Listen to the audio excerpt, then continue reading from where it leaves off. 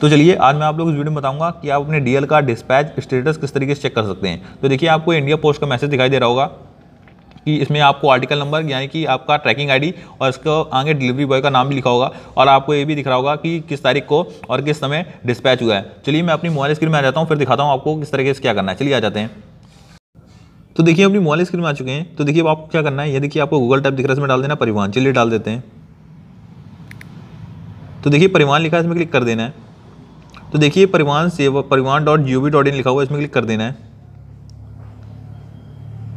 अब देखिए आपको कुछ इस तरीके का पेज खुल गया। अब देखिए लिखा हुआ है, Sarathi driving licence related services इसमें क्लिक कर देना है। तो देखिए अभी कुछ इस तरीके का पेज खुल गया, यहाँ से आपको अपना राज्य चुन लेना है।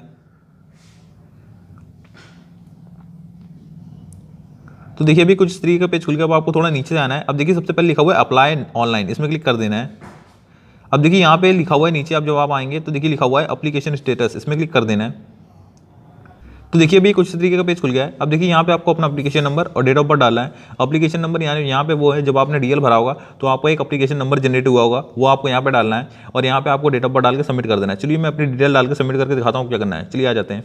तो देखिए जब आप अपना एप्लीकेशन नंबर और डेट ऑफ़ बर्थ डाल के लॉग सबमिट कर देंगे तो देखिए अब आपका जब आप स्क्रॉल डाउन करके नीचे आएँगे तो देखिए आपको कुछ इस तरीके का दिखाई देगा। देखिए साफ़ साफ़ नीचे लिखा हुआ है इशू ऑफ़ ड्राइविंग लाइसेंस देखिए आगे लिखा हुआ है dispatch of DL and PSB batch completed देखिए तारीख भी दिख रही होगा आपको, ये कब प्रिंट हुआ है वो भी आपको दिख रहा होगा। अब आप यहाँ पे नीचे देखेंगे तो आपको यहाँ पे आपका लाइसेंस नंबर दिखाई दे जाएगा। अब देखिए यहाँ पे लिखा हुआ है स्पीड पोस्ट ट्रैकर नंबर तो आपको ये जो नंबर दिखाई दे रहा होगा जो मैंने इसको ब्लर कर दिया है, इस नंबर को आपको कॉपी करके स्पीड पोस्ट की साइड में ट्रैक कर दे, ट्रैक करना है इसको। चलिए अब मैं आपको ये भी बता देता हूँ कि आप किस तरीके से ट्रैक कर सकते हैं। चलिए मैं अपना इसको कॉपी कर लेता हूँ, फिर उसके बाद दिखाता हूँ क्या करना है। चलिए कॉपी करके स्पीड पोस्ट की साइड खोलते हैं। चलिए कर लेते हैं।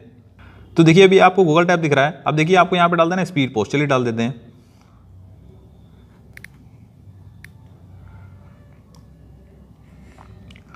तो देखिए, जब आप स्पीड पोस्ट डाल देंगे तो देखिए आपको कुछ इस तरीके का दिखाई दे रहा होगा। लिखा हुआ है ट्रैक कंसाइनमेंट इंडिया पोस्ट इसमें आपको क्लिक कर देना चलिए क्लिक कर देते हैं।